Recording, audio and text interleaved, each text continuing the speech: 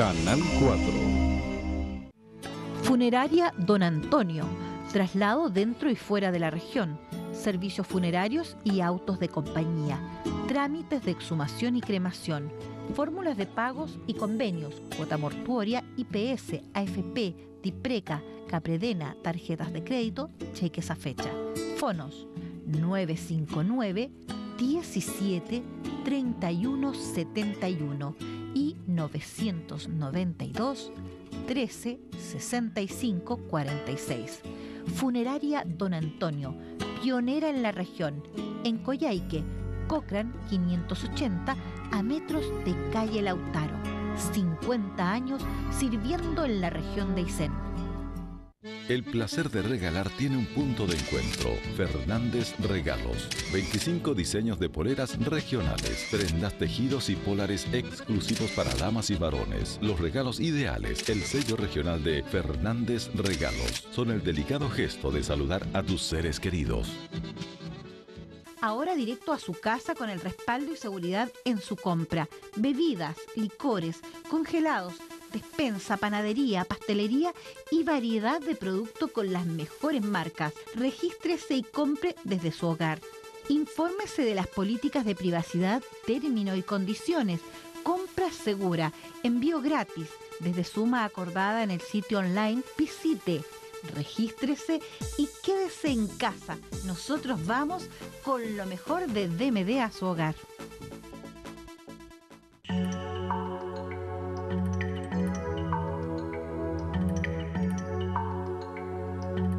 Canal 4.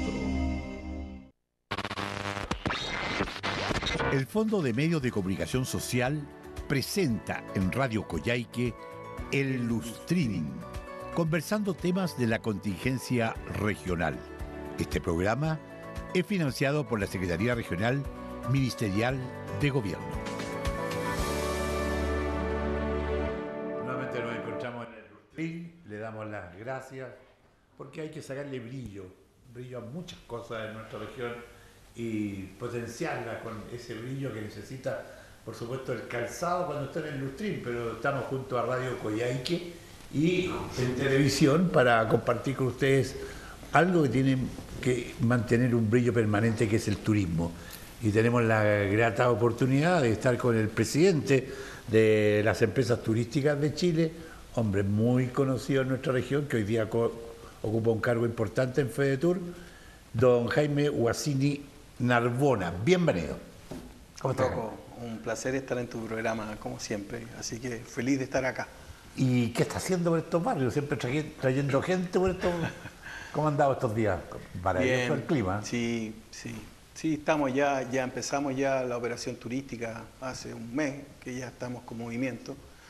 Así que estamos en eso, operando eh, los turistas que por fin volvieron los extranjeros. Estamos ya con un 80% de turistas extranjeros versus el año pasado que lo, poquito que llegó era más nacional. Así que estamos muy contentos y eso está ocurriendo en todo Chile, así que tenemos que aprovechar. Eh, recién tuvimos un fin de semana largo que fue muy bueno para algunos destinos que están eh, orientados más al mercado nacional, pero eso es muy bueno, da un respiro a, la industria turística. Aquí. Cerca de 5.000 personas cruzaron la frontera. bueno, ese dato yo no lo tenía 4.800 ¿sí? me decían, sí. Mm, y a eso tienes que sumarle unos 2 millones más por lo menos de turistas eh, chilenos que se movieron por Chile en el extranjero durante el fin de semana largo. Y en estos días, eh, porque hoy día tenemos también algunas paralizaciones en lugares donde el turismo es bien importante, es más que nada, nosotros no apreciamos tanto de repente los lugares de CONAF, de la Corporación Nacional Forestal, pero sí el extranjero lo valora mucho. Sí, bueno, hay una huelga ahí, ¿no? Nuestro principal atractivo turístico son, es la naturaleza y son las áreas silvestres protegidas. los turistas internacionales vienen a eso.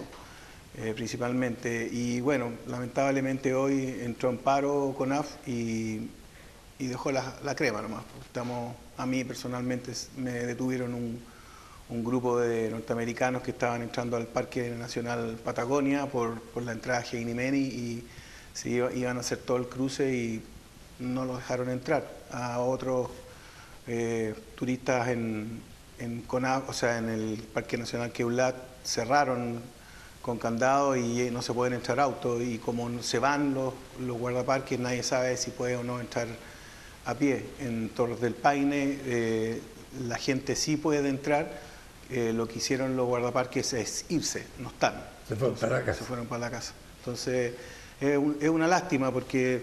¿Y el motivo lo sabe usted? No, no, e, esto es, es reciente. Estamos, de hecho, en comunicaciones con la subsecretaría y con la Dirección Nacional de Turismo, ahí viendo cómo están resolviendo el problema a nivel central, si es que hay alguna solución. Pero CONAF, y, eh, CONAF eh, esa institución, eh, debiera ser nuestro principal amigo y lamentablemente se está transformando en nuestro principal enemigo. Y eso es lamentable, porque tiene que haber ahí una comunicación fluida. No solamente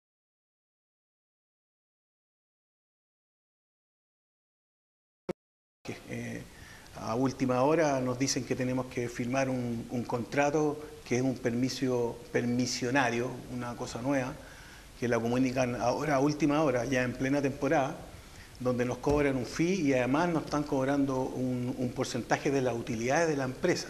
Y eso comunicado encima de la temporada, eh, que nos sorprende, eh, eh, unilateralmente, sin ningún tipo de, negociación ni de conversación, y menos con el tiempo suficiente como para que nosotros podamos reaccionar y meter esos costos dentro de los precios de, lo que vendemos.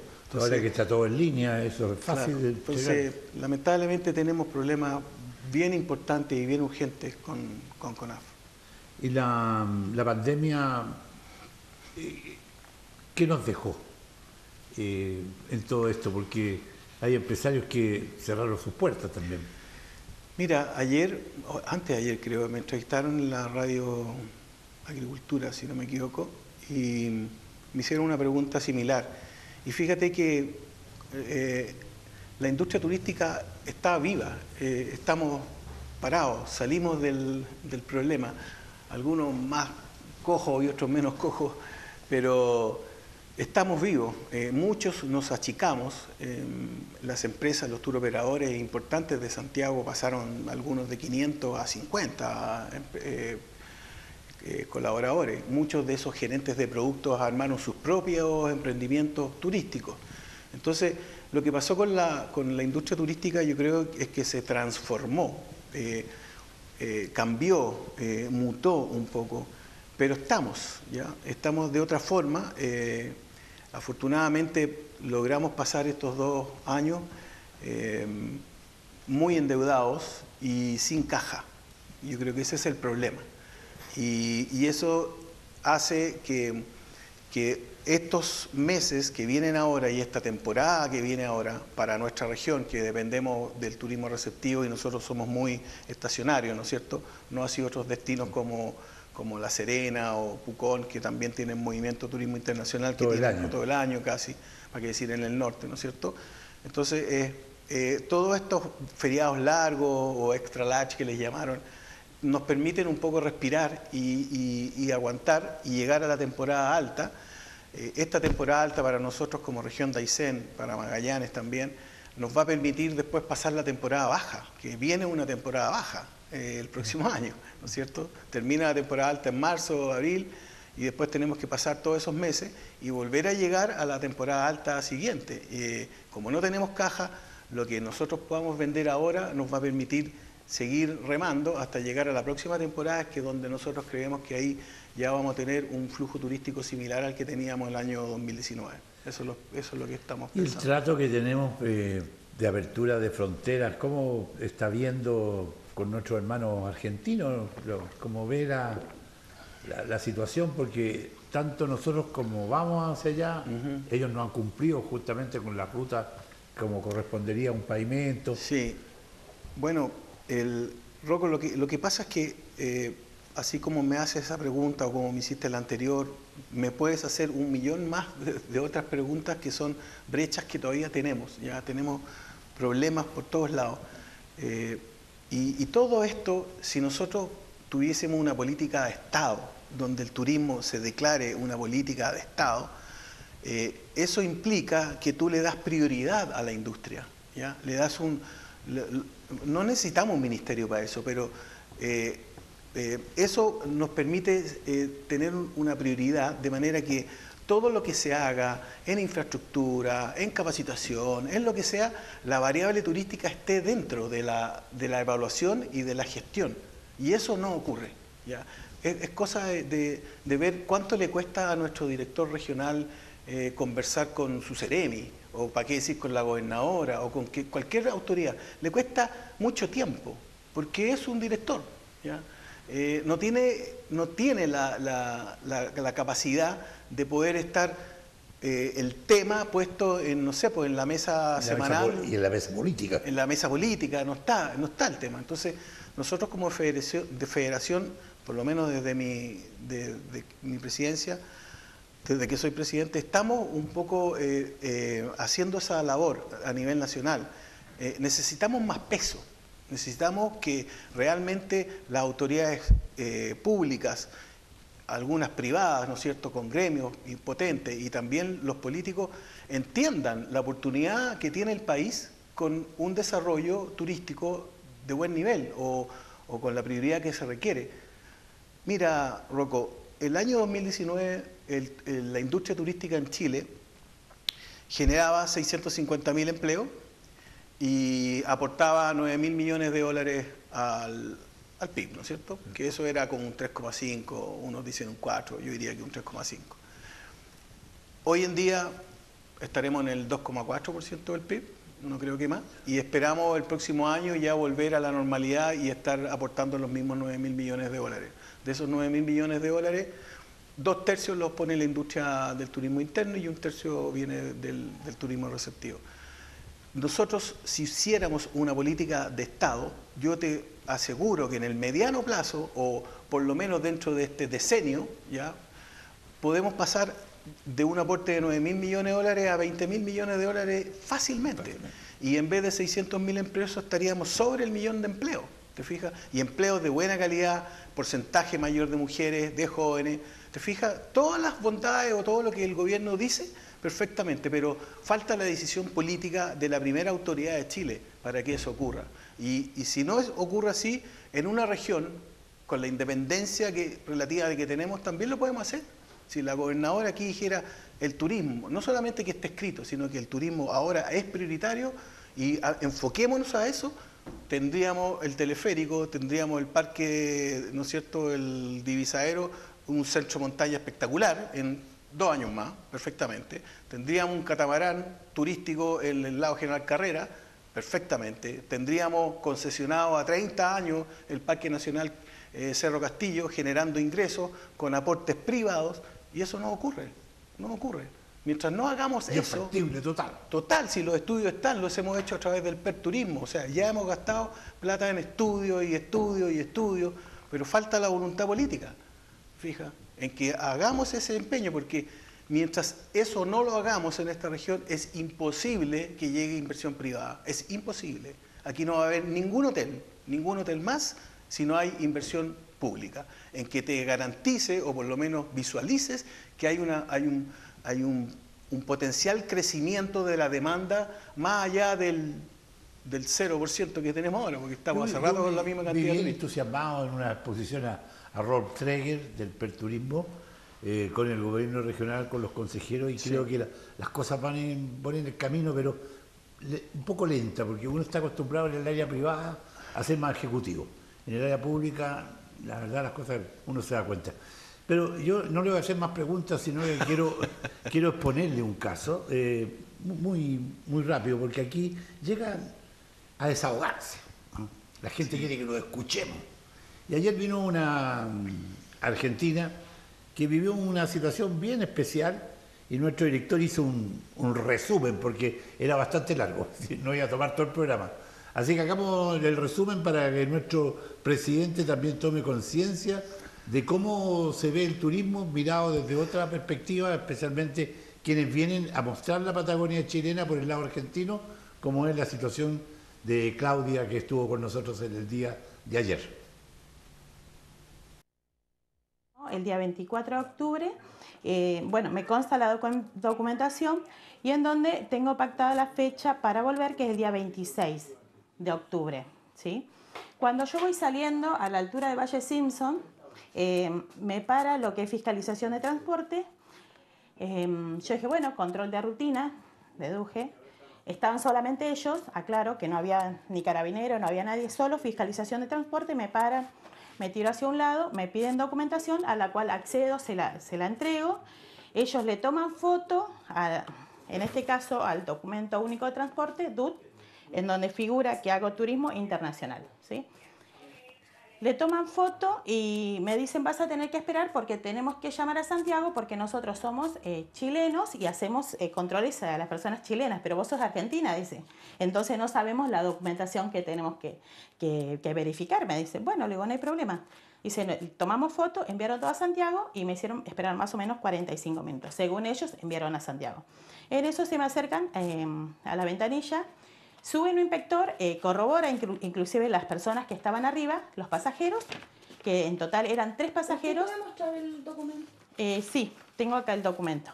El DUT eran eh, dos choferes y tres pasajeros.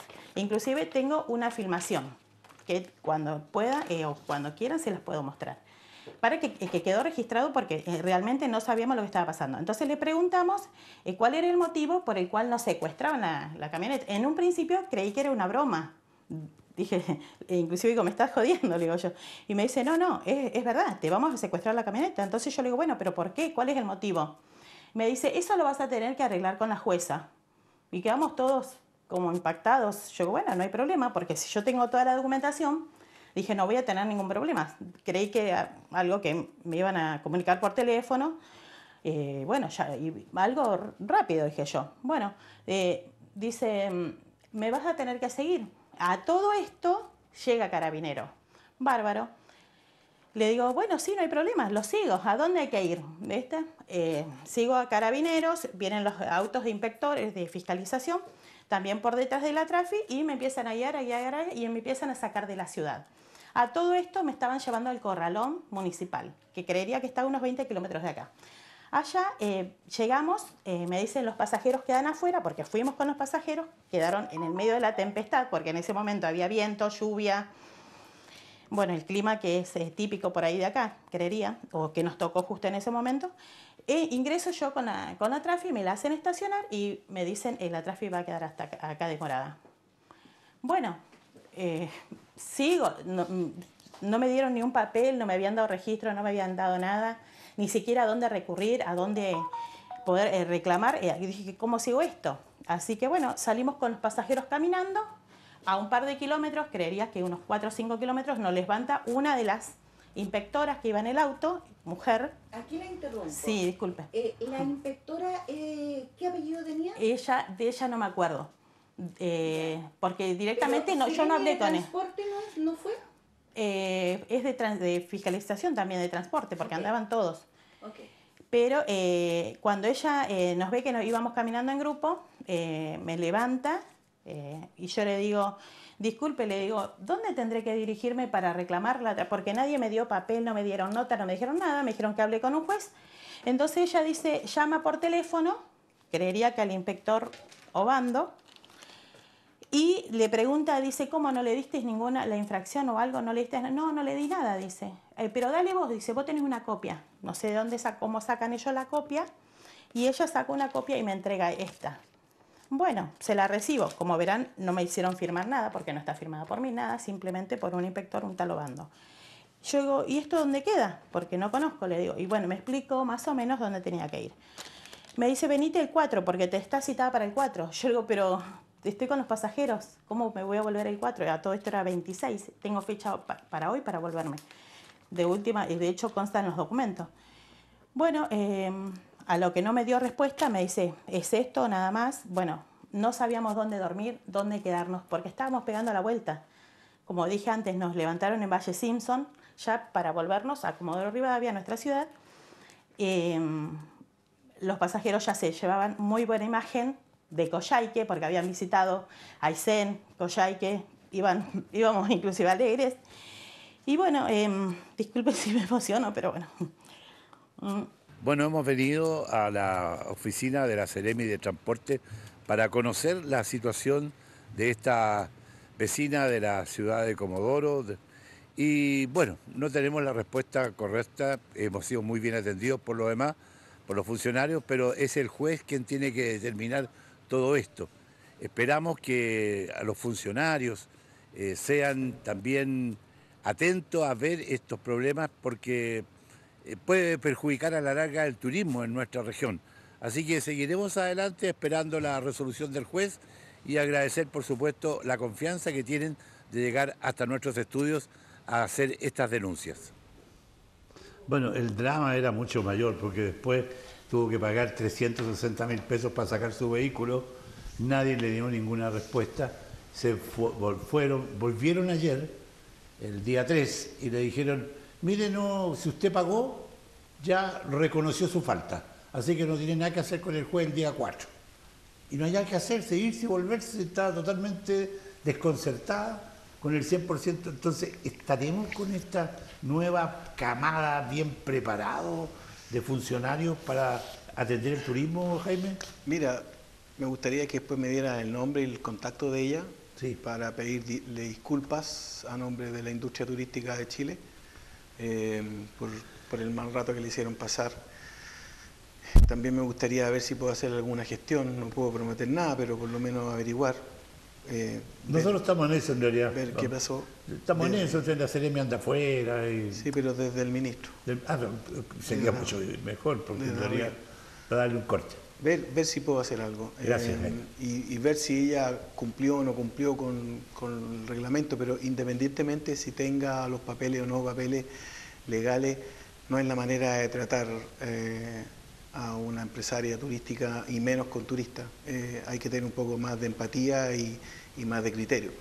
Ahora, ahí tienes un ejemplo de que del dicho al hecho hay mucho trecho. Estamos con una política regional en que el turismo es uno de los tres principales ejes de desarrollo y, mira cómo lo demostramos, o sea, cero, cero bajada, o sea, solamente el título.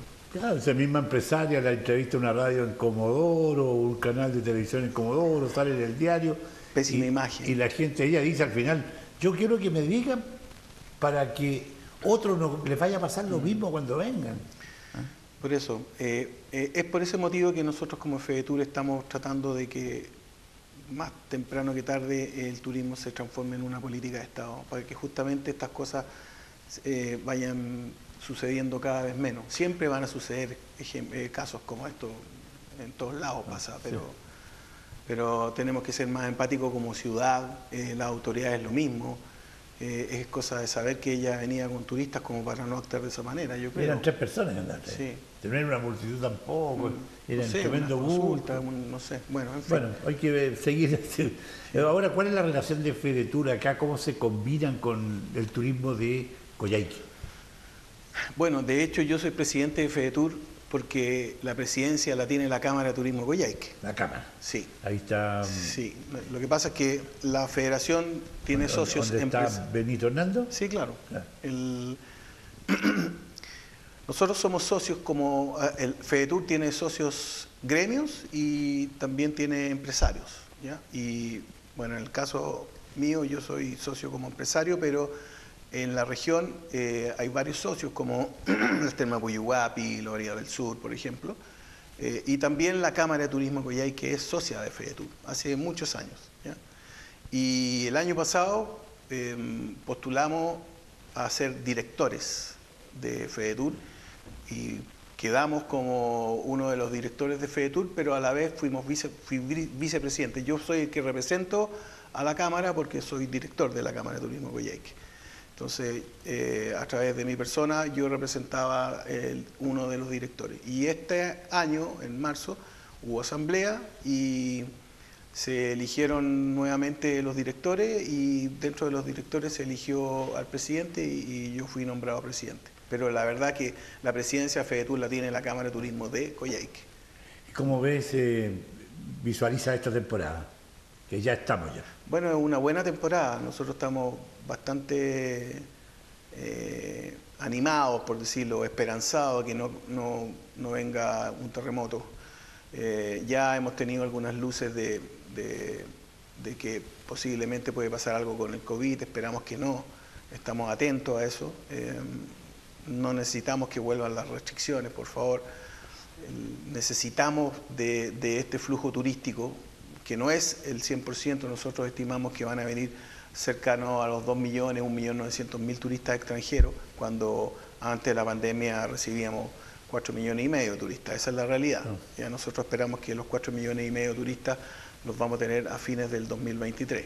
Ya, hace un poco vi vinieron unos matrimonios aquí que sacaron fotos a, a estos lugares donde uno descansa en la carretera que están totalmente abandonados y al final están a cargo del Ministerio de las Públicas y no de las mm. municipalidades. Eh, los miradores, todas estas cosas que... Si estuviera, la si estuviera el, eje transversal de turismo metido en el ADN del MOB, de todas las instituciones, eso no pasaría. Planificaríamos en qué momento eh, tenemos el camino que es un desastre y es un desastre hace más de un año, que es un desastre el camino que tenemos ahora de carretera austral, tiene más hoyos que camino. ¿Para qué decir el tema de la barcaza con Chile Chico? es, es vergonzoso lo que ha pasado. Bueno, si tuviéramos el, eje estratégico bien puesto de turismo, esas cosas se planificarían de otra manera. Entonces, eh, ahí tienes ejemplos contundentes, te fijas, si alguien diría hoy, ojo, que la carretera tiene que estar lista antes de tal mes, bueno, planificamos con mucho tiempo, no sé, pienso yo que, podría ser, pero como no está priorizado el turismo. ¿Cuál es el acercamiento que tienen ustedes con los senadores? Diputado de acá de la región, porque hoy día hablaba con el senador Sandoval y me entregaba buenas noticias que posiblemente iba a haber una buena inversión para la carretera de la, Ruta 7. O sea, la, Ruta 7 hace rato que deberíamos tener muchos más de kilómetros pavimentados. Necesitamos que la carretera austral completa esté pavimentada. Nosotros como presidente del PER Turismo y, y como PER Turismo ICEN queremos que la, que, que la carretera austral se declare ruta escénica. Estamos trabajando en eso. ¿ya? Te fijas, tenemos como, como Ver Turismo hay cuatro, cinco, seis proyectos emblemáticos que estamos ahí empujando, empujando, empujando para que se, se hagan. Porque eso lo que va a hacer que, la, que se mueva la aguja y que en vez de que lleguen 200.000 turistas, ¿cuántos turistas crees que puede recibir esta región? Más de un millón, un millón y medio de turistas perfectamente. Obviamente que nosotros tenemos que ser los responsables de que se distribuyan en forma eh, ordenada. ¿Cuántas camas hay? Cuántas camas no caben, te fijas, pero tampoco podemos llevarlos todos a ver las capillas de mármol el mismo día, tenemos que ser ordenados, con planes reguladores, ¿no es cierto?, con capacidad de carga en los parques. Eso es problema nuestro. Permanezca un par de días en Coyhaique. En Coyhaique, ¿quién en Coyhaique tenemos menos de dos días de pernoctación, 1,7 creo que ¿ya? ¿Para qué se va a quedar más la gente si no hay producto turístico, no hay atractivo turístico potente? Tenemos ahí un cerro espectacular, tenemos unos, unos terrenos fiscales que no anda nadie, ¿no es cierto? Todo el, cerro de Isaero. Imagínate un teleférico, que el teleférico desde que yo estoy en esta región, el año 86, que hablan del teleférico, ¿sí o no? Ya, no es de ahora. Bueno, eh, ahí está el estudio de prefactibilidad, un teleférico hasta arriba, unámoslo con otro, eh, ¿no es cierto?, andarivel hacia el, hacia el centro esquí y tenéis 10, no sé cuántas, cientos o mil hectáreas disponibles para que todos los pobres emprendedores de esta de Coyhaique, que en, el verano van con sus bicicletas o van a hacer trekking, algunos hacen cabalgatas acá el verano y se van todos para la casa, uno sale a vender maní confitado, el otro, no sé, otras, otras pegas, cuando si tú tienes eso puesto en valor, tienes los 365 días del año turismo, en invierno, verano, otoño y primavera. Es lo que pasa en Bariloche. En Bariloche, si los ejemplos están en todos lados, está en Nueva Zelanda, hay un teleférico, tendría todo, tendrías un beneficio social a la comunidad local, ¿no es cierto? Que puede tomar un teleférico a un valor distinto, sacarse una foto arriba, pasar todo un fin de semana o una mañana con los niños. ¿Dónde está la mirada turística? Por favor, díganme dónde está la mirada turística en esta región. No, no la veo. Y el día domingo que está casi todo cerrado. Obviamente que va a estar cerrado si no anda nadie, pero si estuviese lleno de turistas, los, comerciantes van a abrir, pero no van a abrir para nada, si es lógico. Eso que dicen que hoy que los comerciantes no abren, obvio que yo no voy a abrir si no tengo a nadie a quien venderle. Pero si nosotros generamos demanda, ¿ya? generamos demanda y tenemos a todos los turistas dando vueltas, yo voy a abrir y todos mis vecinos y todos van a abrir. ¿Te fijas? Es así. Necesitamos generar demanda.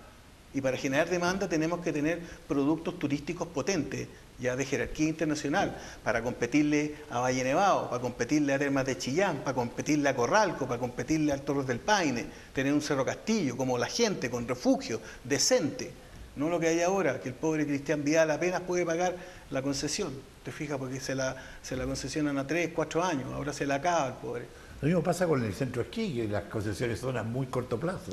Nosotros, el, el, el, Perturismo, pusimos eh, hace ya un tiempo que estamos... Mínimo 20 años. Está bien, pero hicimos antes, ya, ya no recuerdo, hace tres años atrás hicimos los términos de referencia, los mandamos a Santiago para que se licite a 30 años o a 20 años para que llegue inversión. ¿Y qué es lo que pasó? Ahí quedó, en el escritorio del Ministerio del Deporte, ahí quedó. ¿Tenemos ya nuestro invitado? Todavía no han llegado, así que seguimos conversando. Entonces, porque el turismo nos da para rato. ¿Te fijas? Eh, eso es lo que molesta. Ahora, afortunadamente, hablemos de cosas buenas también. El perturismo para mí es un, es un logro que hay acá, porque parte de lo que se necesita es que haya comunicación pública-privada, haya una ruta de navegación eh, con una sola mirada y eso ha resultado. Estamos en el vamos a entrar al séptimo año, le acaban de aprobar el gobierno regional, estábamos presentes, ¿te acuerdas? Eh, por tres años más, eso es, es destacable y hay que agradecerlo, porque ahí podemos conversar y todos mirar hacia, hacia un mediano largo plazo. Lamentablemente esos proyectos están ahí y no hemos sido capaces de, que se concreten, como el divisaero, la Chelenco Navegable, el Parque Nacional Cerro Castillo, la ruta escénica de la carretera austral. Imagínate todos esos proyectos. Tendríamos una cola de demanda y tendríamos una cola de inversionistas poniendo hoteles en todos los lugares, etcétera. Seríamos otra cosa. Ahora hay que también subsanar todo lo que ha pasado con las empresas constructoras que han quebrado y han dejado los trabajos a medio andar. Exacto, eso es cierto. Tuvimos una pandemia que nos golpeó a todos y eso tenemos que estar conscientes de eso. Pero eso ya pasó, no podemos quedarnos con eso. Sí, pero Hay ahora... que hablar con los bueyes que haya, como se dice, ¿no? Ahora los valores se escapan. Sí, ah. todo. Fíjate que también me hicieron una pregunta respecto de eso eh, en, Santiago. Y bueno, tenemos el turismo receptivo, que el tipo cambio le favorece. Así que hay que aprovechar esa, esa oleada, ¿no es cierto? Pero eh, pero la gente está saliendo igual. Tú lo viste ahora el fin de semana largo. Sí. Está todo mucho más caro, pero la gente sale. Hay una necesidad de salir eh, y estar al aire libre o descansar la mente con todo lo que pasamos en la pandemia, que está ocurriendo ese fenómeno. Ahí nos llegó el alcalde. Así que. Don alcalde. Lo vamos a saludar pronto. Eh, Jaime, te dejo las cámaras para despedirte. Un gusto y yo estoy disponible para darle novedades del nivel nacional en la industria turística las veces que sea. Yo estoy entrando, viniendo y saliendo, así que cada vez que venga, eh, feliz de, aportarte con noticias y ojalá buenas noticias siempre. Tomamos contacto, Jaime. Jaime Guasini, eh, Narbona, presidente de FEDETUR, que es la Federación de Empresas Turísticas de Chile, en su hogar a través del Lutrin. Y cuidado, no se me el micrófono. Nos despedimos. El Lustrin, conversando temas de la contingencia regional. Este programa es financiado por la Secretaría Regional Ministerial de Gobierno.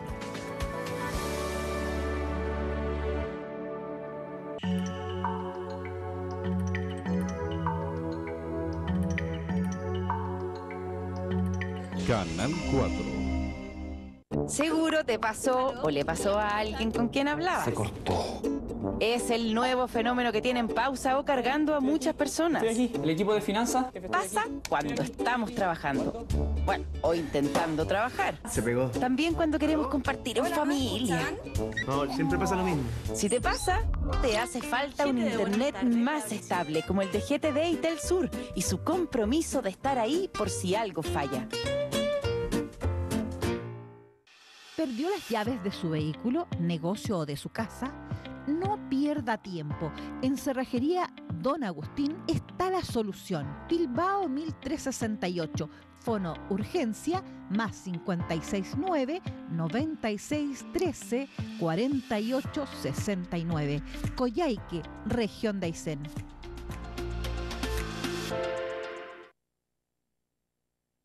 Maestranza Apple mantiene un amplio stock de planchas de fierro dimensionadas de todas las medidas y espesores, oxicorte, plegado de hasta un milímetro y medio y vidrios cerámicos de todas las dimensiones. Apple Fábrica, cocinas a combustión lenta para calefacción central con serpentín y bullones para agua caliente. Apple pertenece a la Sociedad Industrial Mansilla Limitada, una reconocida maestranza regional con maquinarias y personal de alta calificación. Fono Calor Apple 233255 en Coyhaique, Lautaro 855.